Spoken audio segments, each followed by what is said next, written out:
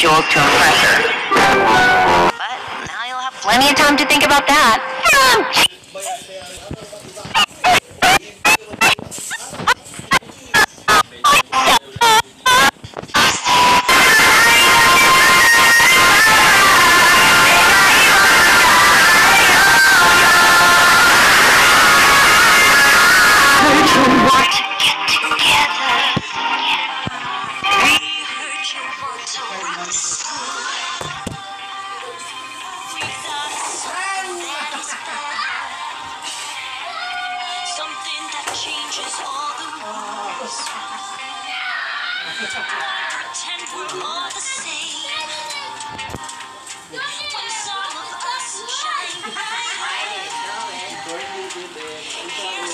to find your flame.